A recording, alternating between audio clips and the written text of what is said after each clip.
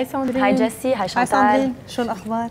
آه اليوم رح نبلش مع التنس وبطولة أبو ظبي النهائي اللي صار امبارح. رح نحكي كرة قدم مع أخبار متفرقة وأكيد NBA تفضلي. البداية مع التنس ومع نهائي بطولة أبو ظبي الاستعراضية اللي كانت عم تضم ست لاعبين من العالم فقط وانتهت بفوز الصربي نوفاك جوكوفيتش المصنف أول للعام الثاني على التوالي بعد تغلبه بالنهائي على الإسباني نيكولاس ألماجرو. قدم اللاعبين مباراة قوية بمدينة زايد بالعاصمة أبو ظبي وسط حضور جماهيري كبير قبل ما يفوز جوكوفيتش بمجموعتين مقابل مجموعة واحدة 6 7 6 3 و 6 4 إشارة أنه بطولة الدوحة بتنطلق اليوم وبتستمر حتى خمس الشهر القادم بغياب اللاعب الصربي عن المنافسات. ننتقل إلى أخبار كرة القدم والمرحلة العشرين من الدوري الإنجليزي حيث بقي فارق النقاط السبعة يلي بيفصل المتصدر مان يونايتد عن جاره مانشستر سيتي على حاله. وهالشي بعد ما حسم امبارح مان يونايتد مواجهته مع ضيفه ويست برومويتش 2-0 بينما استعاد مانشستر سيتي توازنه بفوز صعب على مضيفه نورويتش سيتي 4-3 رغم النقص العددي بصفوفه من الدقيقة 44 من جهة ثانية حقق أرسنال النتيجة الأبرز باكتساحه نيوكاسل 7-3 بوقت سقط أستون فيلا على أرضه أمام ويغن 3-0 بعدنا بأخبار كرة القدم وأكد مدرب باريس سان جيرمان كارلو أنجيلوتي إنه فريقه ما رح يضم أي لاعب إضافي غير البرازيلي لوكاس مورا بفترة الانتقالات الشتوية يلي تفتتح بأول الشهر القادم.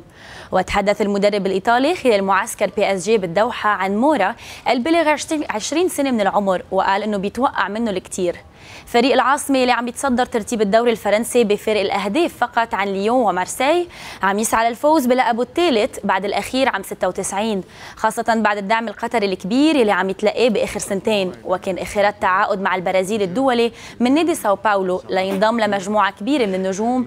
وعلى رأسهم السويدي زلاتان إبراهيموفيتش والثنائي الأرجنتيني لافيتزي وباستوري وغيرهم من النجوم. ذكرت صحيفة ليكيب الفرنسية أن مفاوضات انتقال نجم كرة القدم الإنجليزية السابق ديفيد بيكهام إلى موناكو الفرنسي توقفت بسبب عدم الاتفاق على التفاصيل المادية. وقالت الصحيفة أنه قيمة عقد بيكهام يلي أنهى من فترة قصيرة مشواره مع فريق لوس أنجلوس جالاكسي الأمريكي عالية جدا مما أدى إلى توقف المفاوضات بين النادي ووكيل أعمال اللاعب. إشارة أنه بيطمح موناكو يلي بتشير التوقعات أنه على أبواب العودة إلى دوري الدرجة الأولى الفرنسي إلى تدعيم صفوفه بأسماء كبيرة قادرة على تقديم المزيد للفريق. من جهة ثانية وضع المهاجم الكولومبي لنادي أتلتيكو مدريد راداميل فالكاو حد لكل الإشاعات اللي عم تحوم حول مستقبله الكروي. لما أكد عزمه على مواصلة المشوار مع فريق المدرب دييغو سيميوني.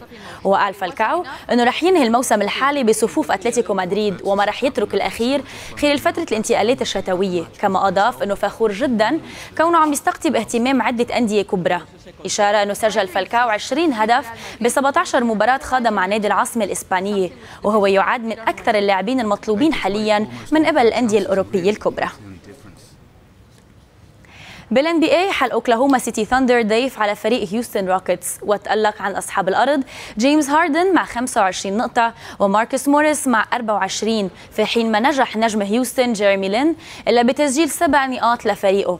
أما من جهة الضيوف. فتألق مثل العادة الثنائي راسل ويستبروك مع 28 نقطة وزميله كيفن ديرانت مع 26 ليقودوا من خلالها فريق أوكلاهوما إلى فوز كبير بواقع 124 94 إشارة أنه بيبتعد أوكلاهوما متصدر مجموعة الشمال الغربي مع 23 فوز وست هزايم بفرق شاسع عن أقرب منافسينه دنفر ناجتس وبيحتل ثاني أفضل رصيد بالدوري حاليا خلف لوس أنجلوس كليبرز. إشارة بأبرز باقي المباريات يلي انلعبت امبارح كان الفوز لبروكلين نتس، شيكاغو بولز، ممفيس جريزليز وبورتلاند تريل بليزرز. هدول كانوا أبرز أخبارنا الرياضية لهلا. شانتال وجسي برجع لكم. شكرا ساندرين. شكرا ساندرين.